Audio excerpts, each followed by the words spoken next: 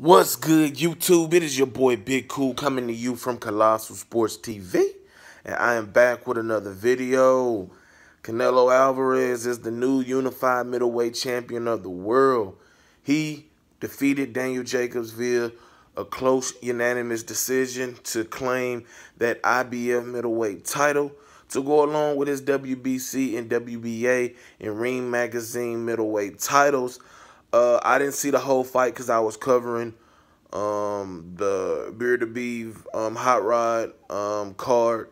Uh, as you all know, I'm the lead journalist for ThreeKingsBoxing.com, so I had to do my duties. But I did catch the fifth round on, and from what I'm seeing, it was a close fight. From five, from round five to twelve, it was a close fight. But the people who I work with at ThreeKingsBoxing.com and just um, that I built relationships uh, with throughout the years, who I have a high respect and regard for their boxing um, knowledge and their ability to, you know, um, score and judge a fight.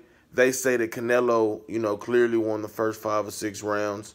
Um, so I'm a, you know, take that word, take their word for it um, until I go back later on the night, early in the morning, to watch the whole fight um, in its entirety. But I wanted to give my thoughts on what I seen. And props to Canelo Alvarez. I picked Daniel Jacobs to win this fight via a split decision. Obviously, I was wrong. Um, it was an entertaining fight, but clearly, um, Canelo Alvarez um, surprised the hell out of Daniel Jacobs with his hand speed. And I don't know how surprising that would be. We all know that he has respectable hand speed.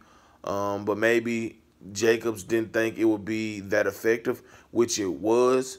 Uh, and like I said in the breakdown prediction video, um, Alvarez is a phenomenal fighter. His uh, ability to slip and roll shots to avoid damage and make you pay um, is something that has, you know, came into play again in this fight.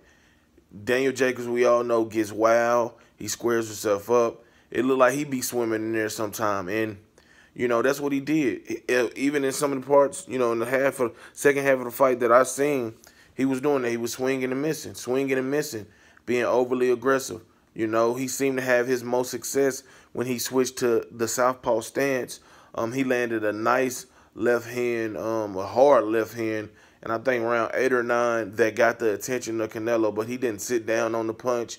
He didn't turn it over um, like you would have liked him to um, would have liked him to do. Um, but you know, Canelo Alvarez is a great fighter. You know what I'm saying? Daniel Jacobs is a very good fighter.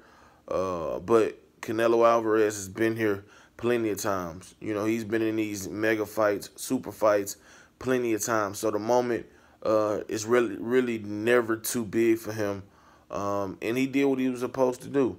Uh, at the end of the the, the night, two judges um, scored a seven five for him. The other judge scored an eight four, and that seems correct.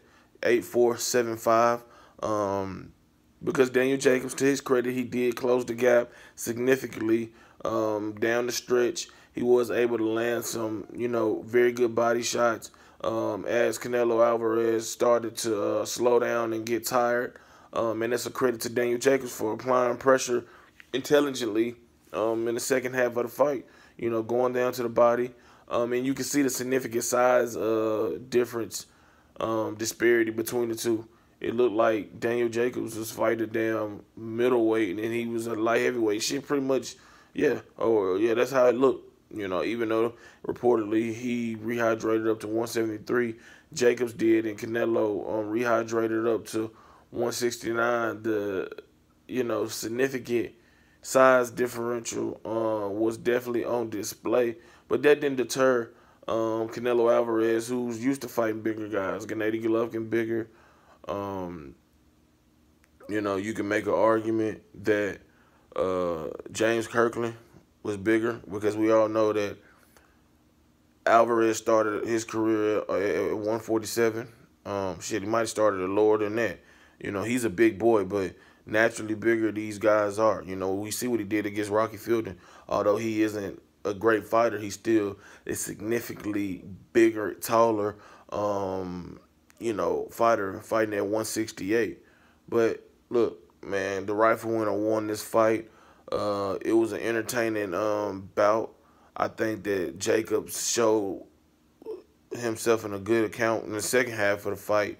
Um, but, you know, he really dropped the ball. Uh, he should have came out, like I said, utilizing that jab, keeping the fight in the middle of the ring, being patient, allowing um, himself to get into the flow of things. And instead, you know, he came out, you know, trying to be ultra aggressive and, you know, look foolish. You know, we know that it's not easy to hit Canelo, so you're to have to slowly get yourself um, in the flow of things against him. Use that jab, you know, keep it in the center the ring, uh, shoot it to the body, shoot it to the head, throw your combinations, and, you know, go to the body, go to the body, and eventually you'll wear him down.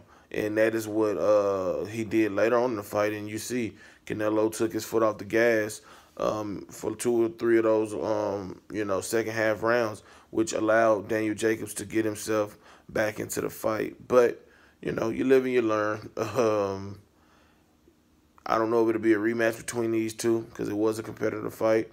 Um, I know Gennady Golovkin was in attendance. I know that Demetrius Andrade, uh, who will be fighting, I think, June 29th or July 29th at uh, Dunkin' Donuts Center in Rhode Island, um, is the WBO middleweight champion. So that's the fight that, you know, Canelo Alvarez most likely will be looking forward to happen, you know, making happen because the winner of that fight will become the undisputed middleweight champion of the world. And I don't know if he want to risk going through with a rubber match with Gennady Golovkin when you got Demetrius Andrade um, in that WBO title right there within reach for you to, um, you know, snatch and make history. So we shall see. But props to Canelo Alvarez for unifying the WBA, WBC, and IBF middleweight titles um, and continuing his impressive streak and, you know, showcasing himself again as one of the top five pound for pound um, fighters in the sport today.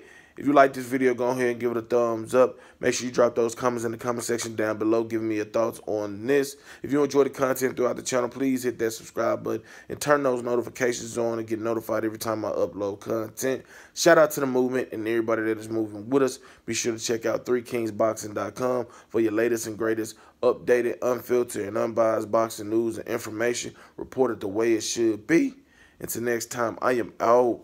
Peace.